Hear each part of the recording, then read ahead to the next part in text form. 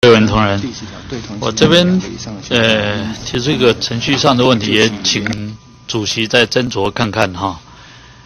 呃，因为在这一次礼拜五跟下礼拜二这一次的院会，外界非常关心有关于台纽经济合作协定，大家都希望能够尽快来通过，因为这个协定纽西兰的部分他们已经通过，他们现现在就在等。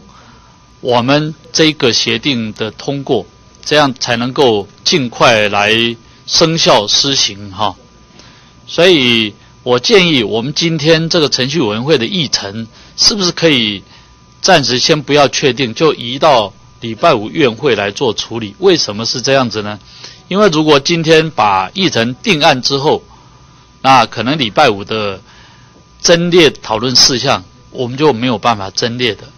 如果今天是没有确定，那我们礼拜五可以透过朝野协商。如果各个政党都愿意说让台纽经济合作协定尽快来通过，我们就可以提出增列讨论事项。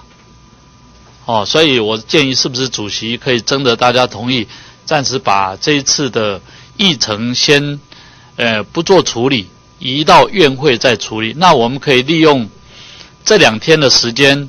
朝野大家再交换一下意见看看，哦，因为确实有关于台纽协定，时间上确实是比较急。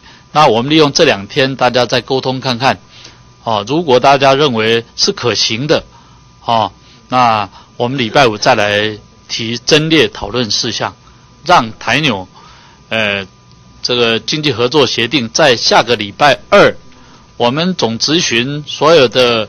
咨询完毕之后，随即就审查，呃，这个台纽协定。这样的话，呃，对于我们未来整体的经济发展，应该会有很大的帮助。所以我以上提出这个建议。好，那个。